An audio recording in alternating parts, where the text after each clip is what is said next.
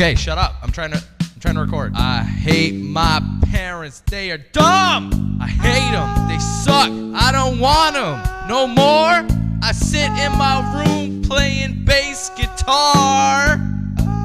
I don't want it.